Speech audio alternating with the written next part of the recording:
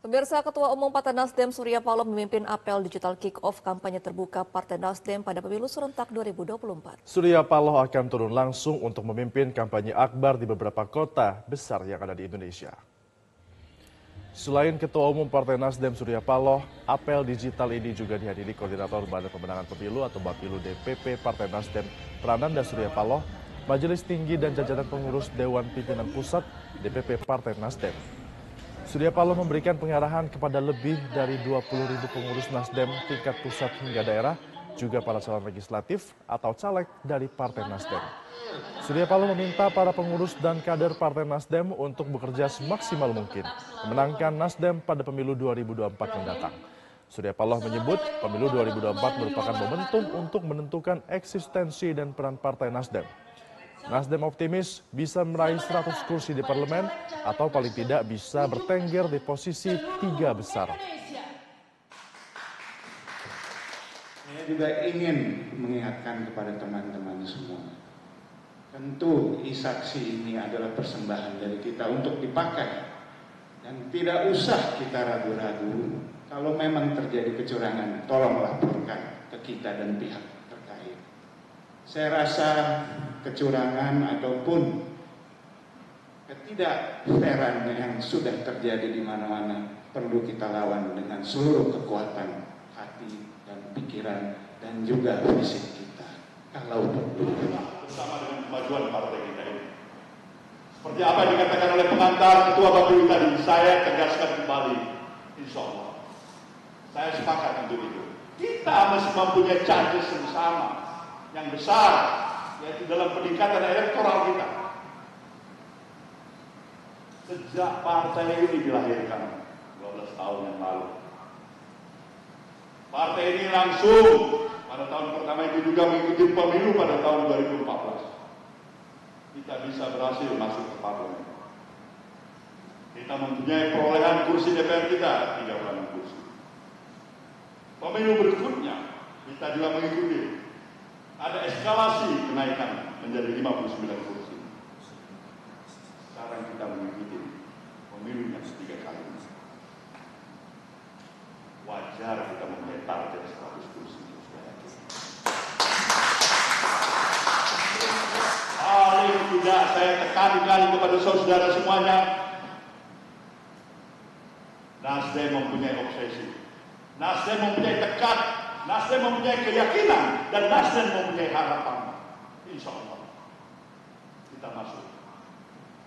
Paling tidak di tiga besar partai-partai pengurus yang dilakukan oleh pemilu 2024.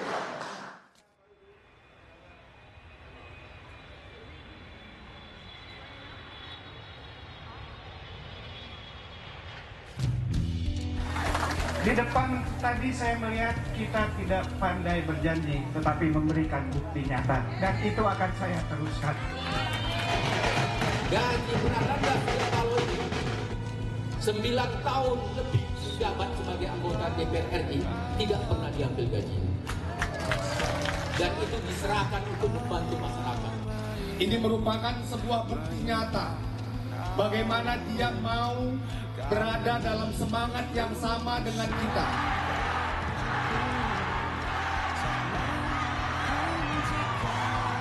Harga minyak makan mahal atau murah? Harga sembako mahal atau murah? Nanti sebelum 14 Februari saya akan berkunjung ke sini lagi untuk menanyakan apa yang memang menjadi aspirasi atau kebutuhan kepada Bapak Ibu dan Senior. Saya mengerti kita sedang berada dalam masa yang kurang baik, masa yang serba sulit, tetapi percayalah saudara-saudara kalau ini memang menjadi mandat akhir 14 Februari nanti pasti ada tangannya untuk perubahan Indonesia dan Sumatera yang lebih baik. Saya ingin ingatkan 2024 ini adalah pertarungan terbesar Partai Nasdem.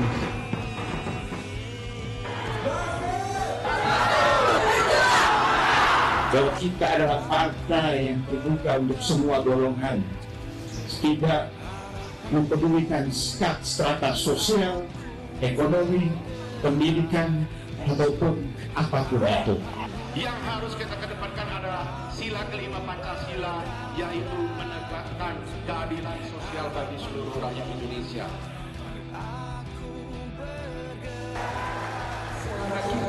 Di sini beribu-ribunya, seribu-ribunya milik Partai Nasdem.